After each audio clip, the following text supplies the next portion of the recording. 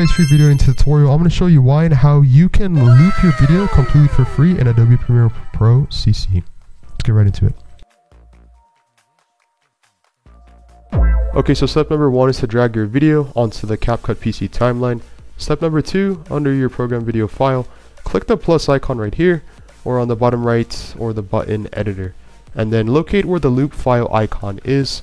In this case, we're just going to be on the second row, and it's going to be this icon right here, which says loop playback. So click on it, but nothing will happen. So you have to click and hold and then drag, and then click and then click OK. And in order to enable it click the loop playback right here and it's color blue. Select the video on the timeline that you would like to loop back. In this case it's going to be when our subject dunks the basketball. Okay so once you have this video clip selected we're going to create an in point and an out point and then click the loop playback icon.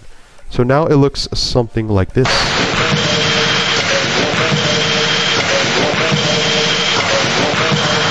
And this is the before. And this is the after. Thanks for watching. Drop this video a like comment down below share the video and follow for more. Have a great day